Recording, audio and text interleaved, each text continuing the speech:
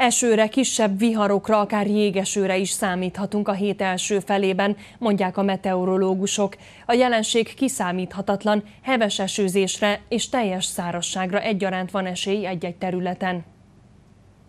Május 25-e Orbán az utolsó fagyos szent napja. Ebben az időszakban akár az is előfordulhat, hogy fagypont alá csökken a hőmérséklet. Emiatt most nem kell aggódnunk, viszont egy nedvesebb, hűvösebb légtömeg érezteti majd hatását.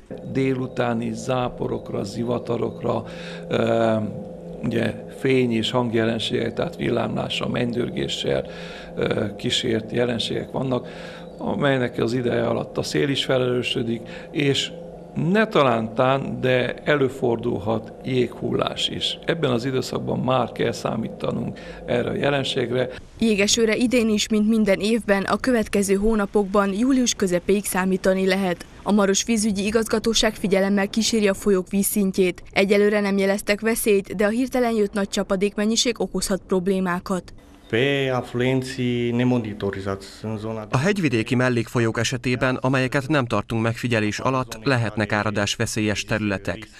Hogy lesznek-e problémák, az a négyzetméterenkénti csapadékmennyiségtől és az időintervallumtól függ. Máshol egyelőre nem jeleztek problémákat. A csapadékhullás nem frontális jellegű, csak helyenként lehet számítani rá, így az esőt váró gazdák bánatára az is előfordulhat, hogy bizonyos területek teljesen szárazak maradnak.